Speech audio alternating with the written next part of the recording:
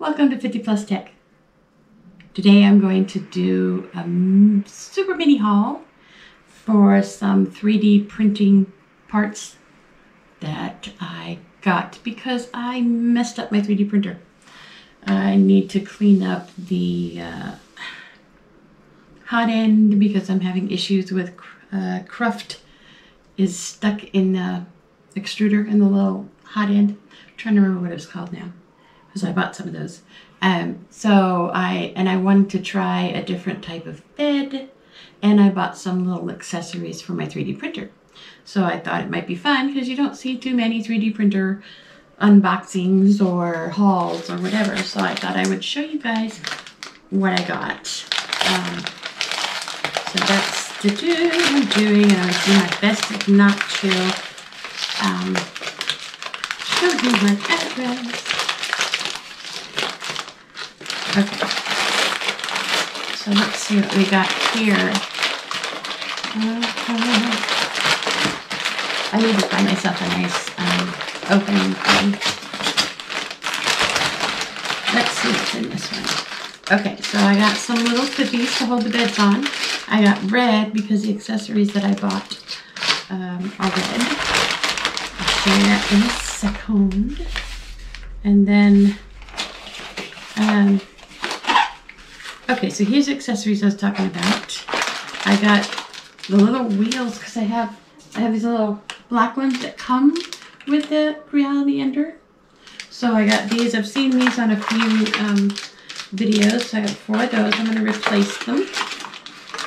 So that's why I got the red clips because I'm just going to go red with the whole thing. We might print some red uh, other accessories to go with it, but um, and these are some oh, what do you call the squeezy things? Um, springs. Ha ha ha. Yeah, I might be old, but I remember at some point. Okay, so I got some springs um, to replace the default ones. They do recommend that you do that. So, all right, so that's that that. Oh, my address. I'm sure you can see it. And of course I don't have scissors, so I'm gonna have to poke with a pen. I'm gonna have to use a uh, one of these things because I gave my scissors, my mom my scissors earlier, and I don't want to disturb her and go get them.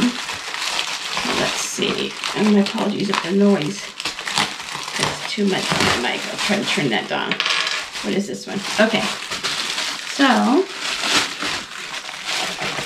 oh. I'll, I'll have to put like a happy face or something in so you can't see it. okay. I was trying to mark it, um, mark the address with a mark, but I never got to it. Okay, so that's this. I've actually had these for a while, but I've been holding on to them because I'm going to try. So this is a bed. Which bed is this one? Because I bought a glass bed and I bought, and they're really not very expensive. They're about 15 bucks. One was 15 and one was 18. And I believe this is the Creality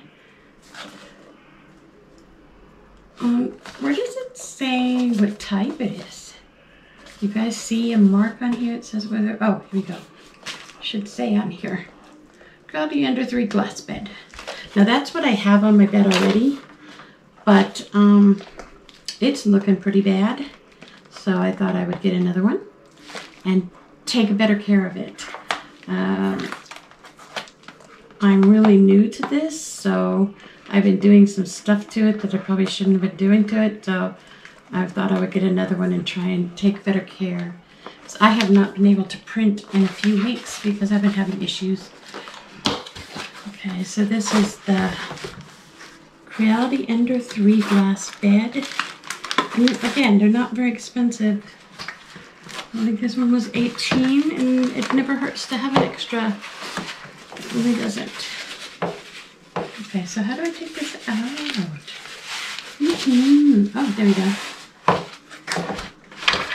And what they said is that you need to clean it off really good. This stuff leaves the little witch face, leaves some gunk. So then you need to clean it real good. But that's the Creality Ender 3.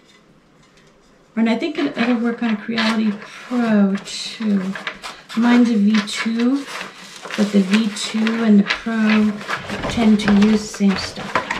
Okay, so that's the glass bed. You guys saw the accessories, the red accessories. I will do a separate video um, when I get everything on there. Put on the, uh, what you call it? Okay. I don't have that much room. Small. Okay. So,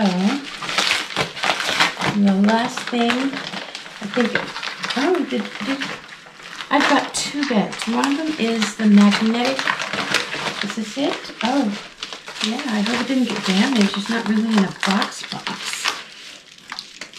Okay, put this here. And what are you? Oh, this is, does it have 0.4 too? I tend to use, these are the little ends. I have the end that comes with it, but I don't think that I'm going to have to replace the end. I think I just have to clean it, but it doesn't hurt to have the actual, your, I can open, does it have teeth? No, I'm just doing it backwards, that's why. Okay, so it comes with a bunch of different sizes. Again, this wasn't expensive either, so 0.5 millimeter. You guys see that okay? Probably not. Okay. 1, 1.0, 0.3,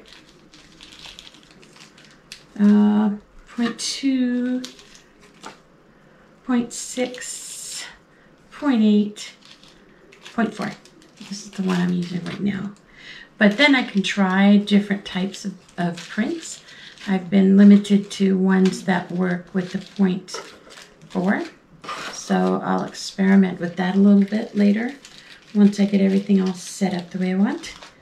Um, and I hope you may have been missing some of this. Okay, so this is the magnetic bed. Oh yeah, you can see it. Um, magnetic. Oh, this is actually kind of pretty. Um, I hope it's the right size. It should be. They said this is the... Okay, so this is more flexible one. You put in there and then um, put it on, on the thing. And after you do a print, you should be able to kind of move this around and pop whatever it is you printed. Because one of the big challenges I've had lately is just because I did something to my bed and to my, so I'm going to go fresh and um, I'm going to clean up the hot end and uh, replace the bed and things like that. And, and that's what I've got today.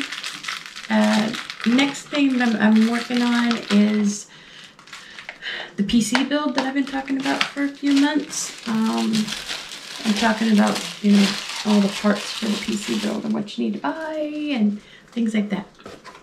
So thank you so much for watching and we will, I will see you in the next one. Thank you.